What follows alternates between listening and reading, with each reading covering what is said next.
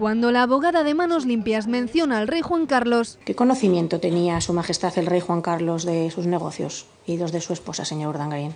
Urdangarín se queda en blanco. Solo recupera el habla para decir que el correo en el que pide al rey que use sus contactos no está admitido en el juicio. Pone no admitido. Ante la insistencia de la abogada, el exduque contesta, pero la presidenta del tribunal le interrumpe. ¿Participaba usted, además del señor García Revenga, como ha manifestado ya a Su Majestad el Rey sus, sus trabajos, ¿no? Sí, le comunicaba de cuál era mi proyecto. Ver, espere, espere un Perdón. momento, no conteste. Tenía razón, el documento se había descartado previamente. En esta ocasión, el tribunal va a interpretar que ha sido un error de la parte. Aunque Urdangarín ha podido dejar claro que don Juan Carlos no conocía sus negocios.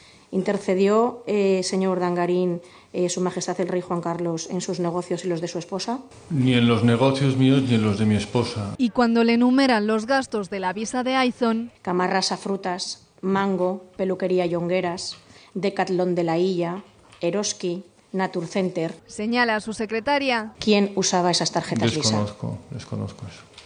Si no la usaba usted ni la usaba su esposa, ¿quién la usaría? Pues ya le digo, mi secretaria supongo que efectuó muchísimos gastos. La infanta dice nunca llegó a disponer de la tarjeta de la compañía. Ella no tenía físicamente la, la tarjeta, de manera que ella no ha podido utilizar la tarjeta de iPhone. Asegura que si hizo algo incorrecto fue porque estaba mal asesorado.